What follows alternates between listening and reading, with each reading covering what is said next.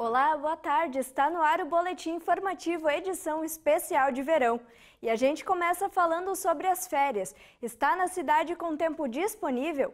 Nós temos uma dica para você. O que acha de levar um pouco de alegria para quem precisa? A gente te mostra na reportagem a seguir.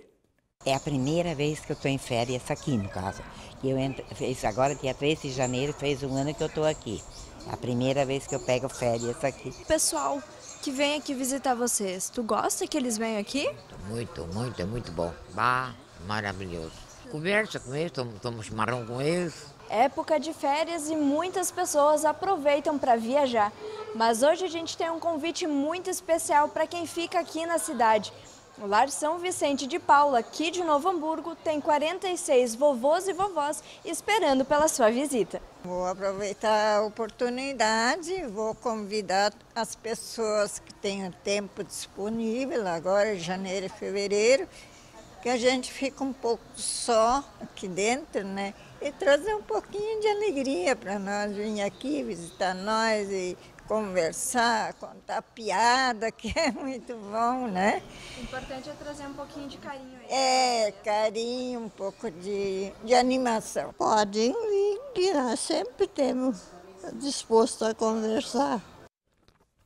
Convite feito então, e para quem quiser atender ao pedido e levar um pouco de carinho e amor, o Lar São Vicente de Paula fica na rua Barão de Cambaí, número 180, no bairro Primavera e está aberto todos os dias. No caso de uma visita em grupo, ela deve ser agendada pelo telefone 3595 8181. Vamos falar de Fevale? Estão abertas até dia 23 deste mês as inscrições para o curso de Medicina na instituição. São oferecidas 60 vagas no processo seletivo e o ingresso do aluno vai ser através dos resultados do Enem de 2016, 2017 ou 2018. As inscrições podem ser feitas até às 5 horas da tarde no site fevale.br/medicina. O resultado vai estar disponível dia 1 de fevereiro e as aulas começam no dia 21. E hoje foi assinado pela manhã no Palácio do Piratini o contrato de, de concessão perdão, à iniciativa privada de algumas rodovias federais no território gaúcho.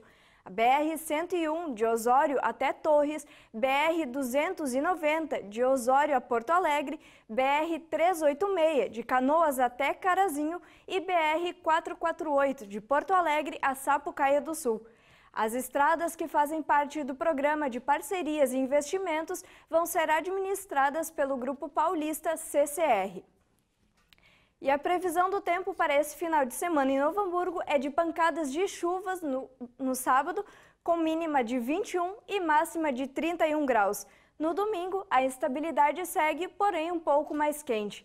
As temperaturas variam entre 22 e 33 graus.